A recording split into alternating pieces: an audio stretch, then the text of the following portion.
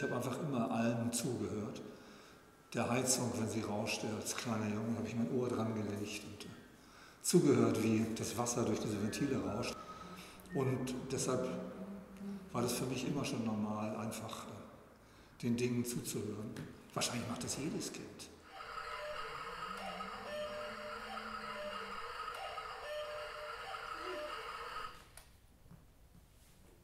Diese Kuckuck-Geschichte war einfach äh, geboren aus der ersten Begegnung mit der Regisseurin, mit Maria Quaschik.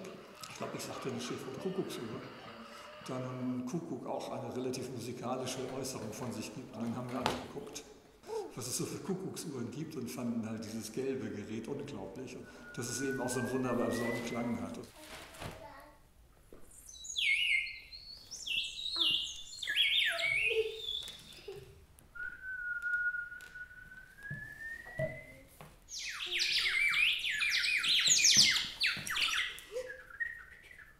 Natürlich ist die Geschichte praktisch, dass irgendwie zwei Menschen kommen und einen Koffer entdecken. Aber ich glaube auch da, also ich habe da auch keine Geschichte, weil ich glaube, das, was ich eben auch schon meinte, dass die Kinder eher die Geschichte sich denken.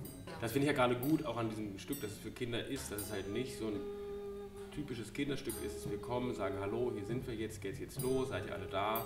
Sondern das ist einfach, die werden reingeschmissen in einen Raum und wir machen da irgendwas und dann gehen wir halt wieder.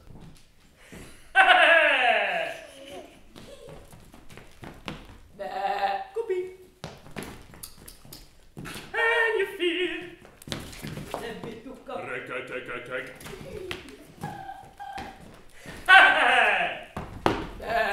Guppi. Ich hatte am Anfang auch ein bisschen Angst, da dachte ich, naja, wenn es überhaupt keinen Bogen, keine Geschichte eigentlich so gibt. Aber eigentlich ist es, ähm, finde ich das gerade spannend für Kinder.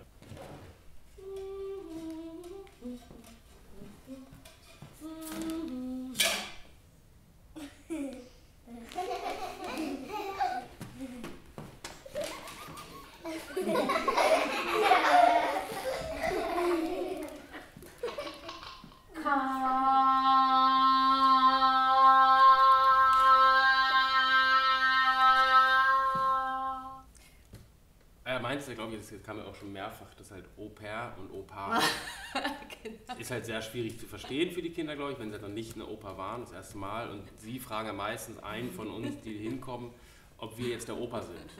Äh, Bist du der das ist- Opa? genau, bist du der Opa? Und dann müssen wir sagen, nee, leider nicht. Indem man zuhört, wird aus jedem Gegenstand ein Musikinstrument. Wenn eine Sache hinfällt und man achtet darauf, wie das klingt, wenn es fällt, dann kann man das auch als Musik auffassen. Und ich bin eigentlich so geboren worden.